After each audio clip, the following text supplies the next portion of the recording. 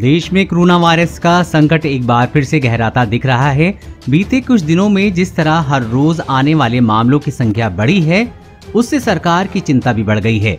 यही कारण है कि बीते दिन स्वास्थ्य मंत्रालय ने भी इस बात को स्वीकारा कि कोरोना पर हालात बद से बदतर होते दिख रहे हैं।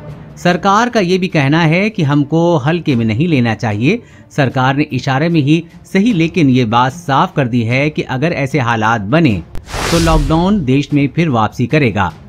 लेकिन वो कैसा होगा, वो भी आज केंद्रीय गृह मंत्रालय ने साफ़ कर दिया है। केंद्र सरकार ने राज्यों को हिदायत दी है कि वो माइक्रो कंटेनमेंट जोन तक ही सीमित न रहें। बल्कि जिला स्तर पर लॉकडाउन जैसी पाबंदियाँ भी लगा सकते हैं। कई जिलों में कोरोना संक्रमण में तेज़ी को देखते हुए केंद्र सरकार ने ये सलाह दी है।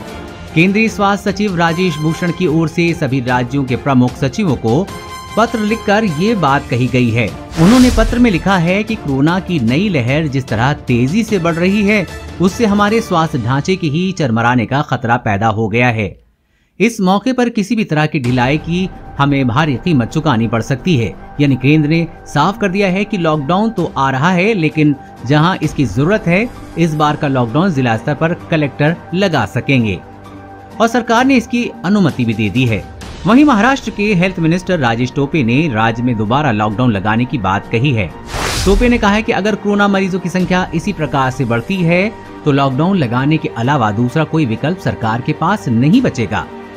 उन्होंने कहा कि इस विषय पर मुख्यमंत्री और महाराष्ट्र की कैबिनेट जल्द फैसला लेगी।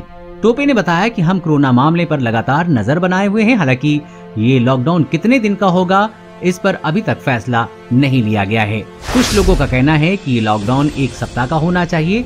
वहीं कुछ लोगों का कहना है कि चेन को तोड़ने के लिए कम से कम पंद्रह दिन का लॉकडाउन करना आवश्यक है।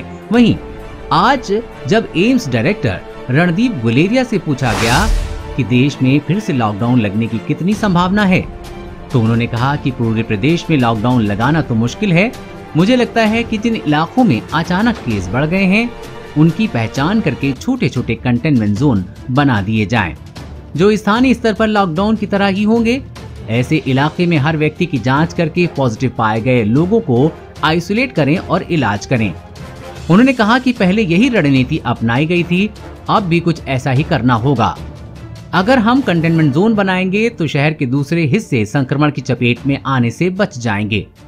यही उन्होंने भी जिलेवार लॉकडाउन पर सहमति जताई, जो कि केंद्र सरकार ने भी बताया है।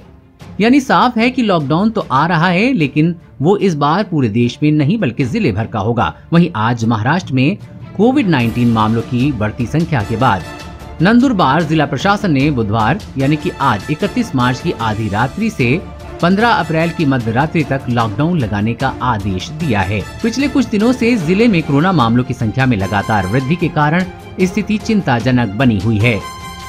वहीं खबर है कि महाराष्ट्र में अप्रैल की शुरुआत में लॉकडाउन लगाया जा सकता है। कोरोना के बढ़ते मामलों को देखते हुए राज्य में नाइट कर्फ्यू लगाया गया है।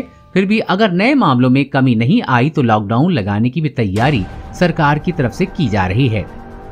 इस बात की आशंका जताई जा रही है कि अप्रैल के शुरुआती सप्ताह में लॉकडाउन लगाया जा सकता है। यदि कोरोना की रफ्तार और लोगों की लापरवाही कम नहीं हुई तो आपको क्या लगता है, देश में लॉकडाउन वापस आएगा या नहीं? नीचे कमेंट बॉक्स में लिखकर बताइए वीडियो को लाइक और अपने दोस्तों के साथ शेयर करना न भूलें।